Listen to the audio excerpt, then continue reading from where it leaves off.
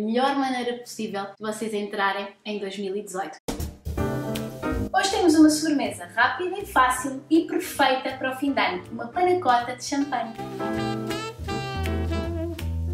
A panacota é uma sobremesa de origem italiana e que quer dizer literalmente nata cozida. Fica assim com a consistência de um pudim, em que o elemento principal é a nata por isso fica assim mais ou menos a saber quase a chantilly. A panacota pode ser feita simples e depois servida com molhos, ou então pode-se logo na panacota dar vários sabores. Como é fim de ano e no fim de ano temos sempre que brindar com champanhe, eu hoje vou usar champanhe para dar sabor à minha panacota. Em vez de champanhe, também podem usar espumante. Usem um champanhe ou um espumante que vocês gostem, porque a panacota tem um sabor praticamente neutro e por isso a bebida que vocês escolherem usar é o que vai prevalecer. Para fazer a panacota, os ingredientes principais são natas, açúcar e gelatina. E nós nesta vamos usar também um pouquinho de limão e baunilha que vão complementar muito bem o champanhe. Começamos por hidratar a gelatina. Em água bem, bem fria, vamos colocando as folhas uma a uma e deixamos que a gelatina hidrate por cerca de uns 5 minutinhos. Enquanto isso, vamos colocar num tachinho as natas e o açúcar,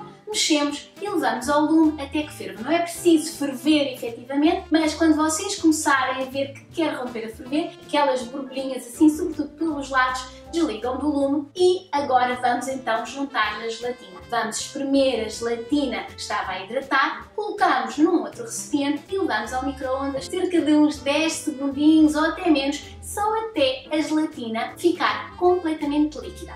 Depois juntamos a mistura de natas que já está quentinha, mexemos muito bem para distribuir a gelatina por todas as natas e juntamos então a baunilha, as raspas de limão e o champanhe.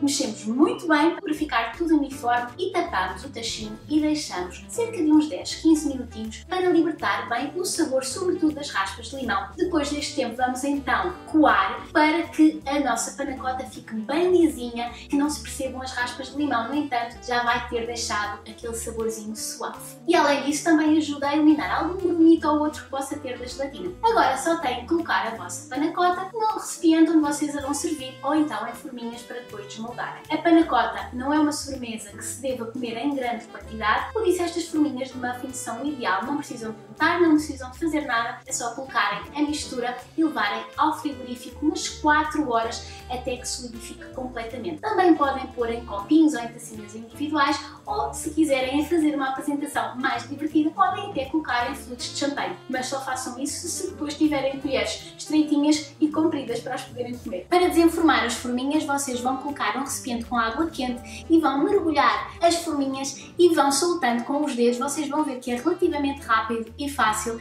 A panacota solta-se facilmente depois das formas estarem ligeiramente aquecidas e depois com a própria mão vocês desmoldam e depois coloquem num prato. Podem nos servir assim simples, acompanhada de fruta fresca, mas eu gosto de acompanhar com uma calda de framboesa que acho que ainda por cima a framboesa complementa muito bem o sabor do champanhe. Eu fiz esta calda de framboesa tal e qual como a calda de morango que já vos ensinei a fazer aqui. Podem ver o vídeo, só que em vez de morangos usei framboesas. E agora é só colocar um pouquinho por cima da panacota e comer e brindar o ano novo assim às colheradas.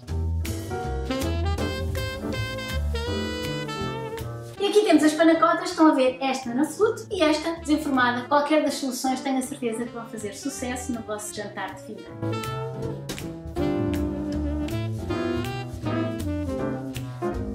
é super fresca e delicada e a melhor maneira possível de vocês entrarem em 2018. Obrigada por terem acompanhado o canal durante todo este ano e vejo-vos então para o ano. Tchau!